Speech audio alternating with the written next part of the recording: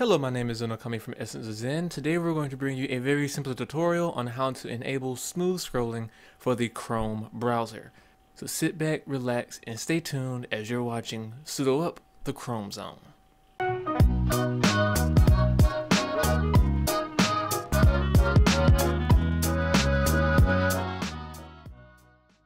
Diving on in, we'll go ahead and open up our Chrome browser. Your browser may look unique or different to the default standard design, depending on if you have a skin installed or not.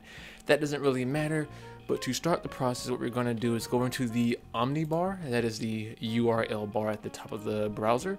We're going to type in Chrome colon slash slash flags and hit enter.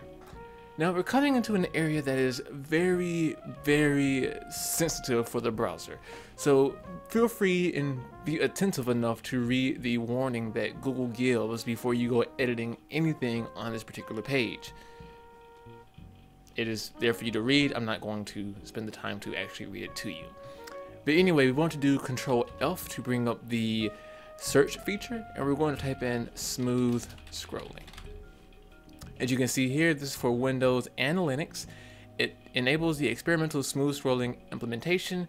You can actually click this link here to basically go straight to it uh, for future uh, browsing if you need to go in and change this back specifically.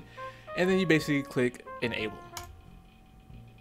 Once you've enabled the particular flag, you want to go ahead and click relaunch now once the relaunch has been done, you'll now notice you have smooth scrolling. Now it's important to note that scrolling smoothly will basically tend to be either choppy or smooth depending on what site you're currently on. Some sites load a lot of JavaScript and because of that, you'll get a less than smooth performance during your scrolling.